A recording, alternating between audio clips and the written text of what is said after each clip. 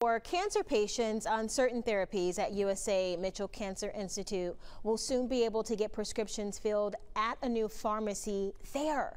It's just going to be one of two specialty pharmacies in Mobile and only eight in Alabama. Specialty pharmacy dispense medicines not usually found at neighborhood pharmacies, primarily for cost reasons.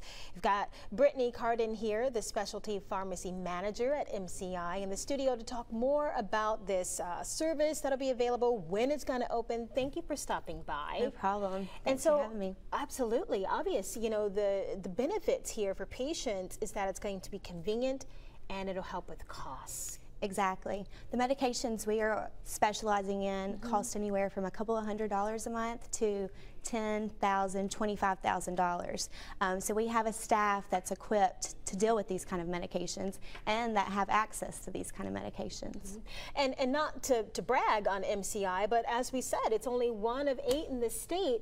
Why is it so difficult to open up these pharmacies and provide the service?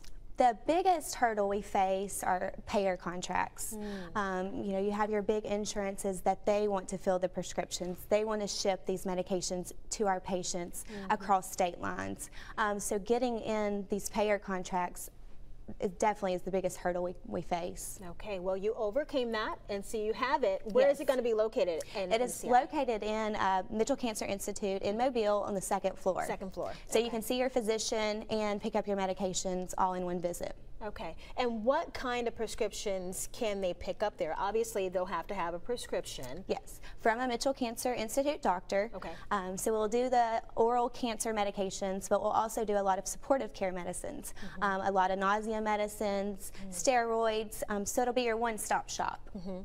Is is there anything else you, you want to add about about the pharmacy opening up? I bet you're really excited. We're so excited. We're so excited to be a part of Mitchell. I have a great team. Um, um, we have over 10 years experience dealing with specialty medications and so we're so excited just to help fill this gap in mm -hmm. that Mitchell's patients may have been facing before now. You're going to get some positive reaction from patients I bet and it's going to be open Monday through Friday? Monday through Friday 8 to 4. Okay all right we've got the telephone number there for you on your screen if you want to call and ask some questions uh, and you'll also have doctors there available right to answer questions? Right we're just going to have collaborative care. We'll mm -hmm. work hand hand in hand with the physicians and the nurses. Um, so we'll fill any gaps in. Um, and so it's just true collaborative care. That's good because the last thing you want to worry about when you're facing cancer is how you're going to get costs. Exactly. Right?